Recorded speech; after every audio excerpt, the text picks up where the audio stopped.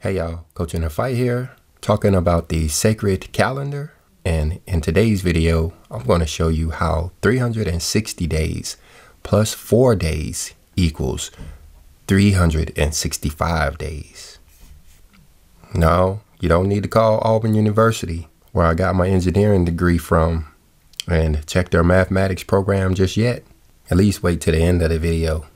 Let's stop by the scripture where I got this information first. Like for instance, over here in 2nd Enoch, where Enoch told us that the solar year has 365 days in it. 365 and a quarter days in it, to be exact.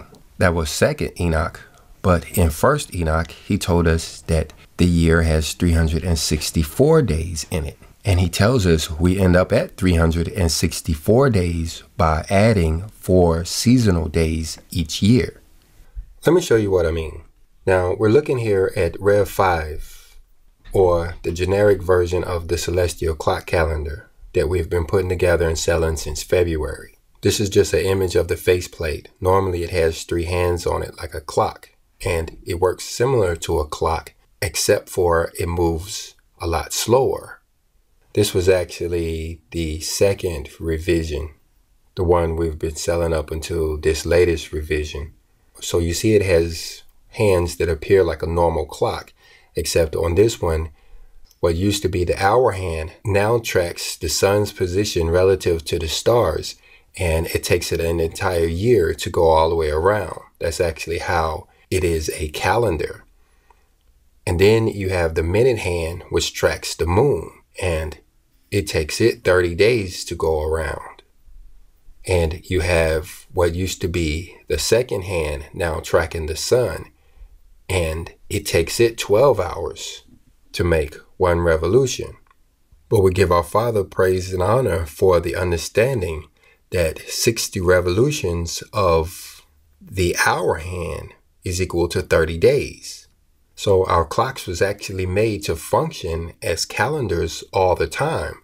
What was missing was the understanding from Enoch and how we have to calibrate them every four months.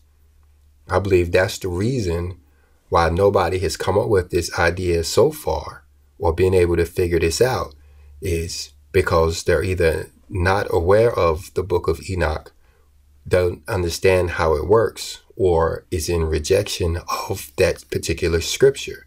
But anyway, while the sun hand is tracking the hours as it does normally, 60 revolutions of that sun hand is equal to 30 days on the moon hand, and then 12 revolutions of the moon hand, of course, gives us 360 days.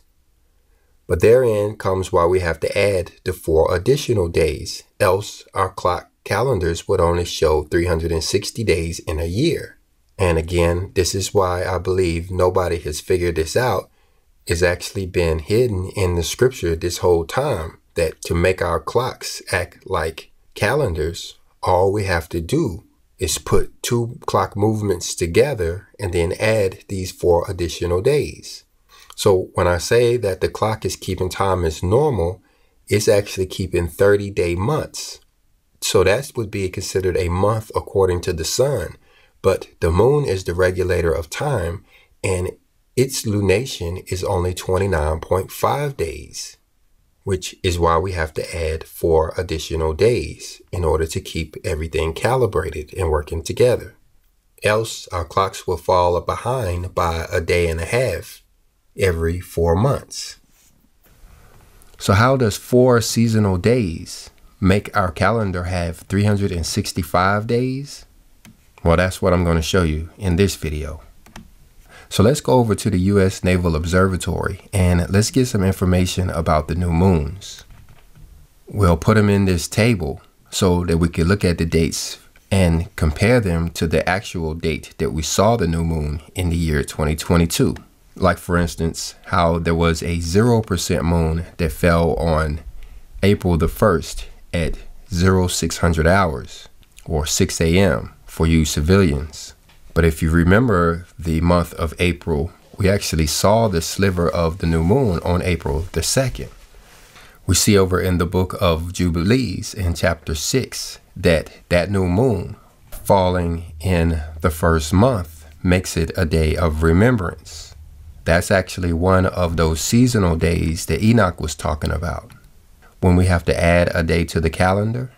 In other words, that's the day that we calibrate the calendar. We have to do so every four months or at the beginning of every season. That's what's known as the Day of Remembrance, the seasonal day, the four extra days that are added to the celestial calendar that keeps the alignment between the sun, the moon, and the stars. If you have one of our celestial clock calendars and you forget to update it every four months, you'll notice that it'll lose track of the days, the weeks, and then the months. That's what Enoch was talking about when he says we greatly err when we forget about these four days. But anyway, let's look at this really closely. We had the Day of Remembrance to fall on April the 2nd, and then the next new moon was sighted on May the 2nd. That was 30 days away. So on April the 2nd is when we calibrated our celestial clock calendars, aligning the new moon up with the new moon position. And then 30 days later, we had another new moon. So that one would have been aligned perfectly in the new moon position, just like the first month. But then we had a new moon on May the 30th, which was only 29 days away. So whereas normally the hand would have reached the new moon position on the 30th day, since the moon is traveling at a faster rate, the new moon is seen at the end of the Sabbath day. That's at the beginning of the third month and then we see at the beginning of the fourth month, there was a new moon sighted on June the 30th, 30 days away. So that new moon will also fall in this cell here. But being in the fourth month, we know that that is also a day of remembrance and the time when we are to recalibrate our calendar.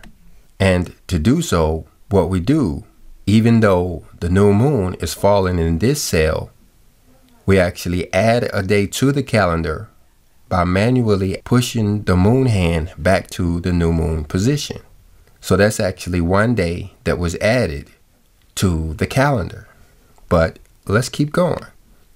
Maybe I can add a shape so we can keep up a little bit better. So being the first day of the fourth month, we have recalibrated our clock calendar, setting the moon hand to the new moon position right at sunset. We've already added one day in the first season. Now we're entering summertime there on June the 30th. And we see we had 29 days until we got to the new moon that fell on July the 29th. So since it was only 29 days, that means that the new moon is falling in this cell here. And then there was 30 days until the new moon on August the 28th which means that it came all the way back around and stayed in this cell here for the new moon. And then another 30 days passed until September the 27th, which was the new moon of the seventh month and another day of remembrance. So once again, our clocks will be recalibrated, putting the new moon in the new moon position on the 27th. And to do so, once again, we manually move the moon hand, adding one day to the celestial clock calendar and putting it back in the new moon position. So there's two days that we've added to the calendar. But let's keep going. We see that there's 29 days until October the 26th when there was a new moon. So that was put the new moon in this cell. And then there was 30 days until November the 25th when we'll see a new moon. So that will keep the new moon in this cell here. But then the next new moon will fall on December the 24th. That's only 29 days away, which would mean that the new moon would actually fall in this cell. But December the 24th is actually the new moon in the 10th month. So it is yet another day of remembrance and another day to be added to the calendar in order to calibrate it. But notice that this time it actually moves two days. One, two. So now we've added four days. One day in the spring season, one day in the summer season, and now two days have we added in the fall season. Now, let me be real clear here. The new moon is always falling in this position here. It's just that our clocks are a little bit slower than the moon actually is. So we have to move the hand forward in order to catch up. So we're never going to see a new moon in the actual 28th cell. The new moon always occurs about 29.5 days each month. For one new moon to another is always about 29.5 days.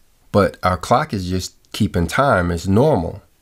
30 days instead of 29.5. So our clock is falling behind by a day and a half every quarter of the year.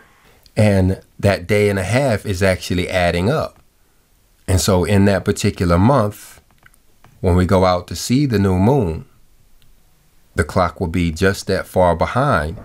And we're adding the one day for the seasonal day. In reality, we're actually pushing the needle of the hand not one day, but actually two days ahead. I hope that makes sense because this is how it works. So let's keep going. We see from the 24th of December to the 23rd of January is 30 days. But there's 29 days until the next new moon in February the 21st. So the new moon will be seen in this cell and then there are 30 days until the new moon on March the 23rd. So the moon hand again will be in this cell when the new moon appears. And since that's the new moon of the first month, we have to add another day in order to calibrate the calendar, which is the fourth seasonal day, making it the 364 day year.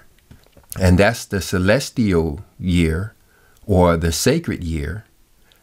But in actuality, we've added five days to the solar year, making 365 days in a year. All because of the difference between the hours in a day and the days in a month or a month. So that's how four days added to a 360 day year equals 365 solar days. If you got any questions, and I'm sure you do, please put them down in the comment section. And if you think you understand, maybe you can help me field some of those questions down there.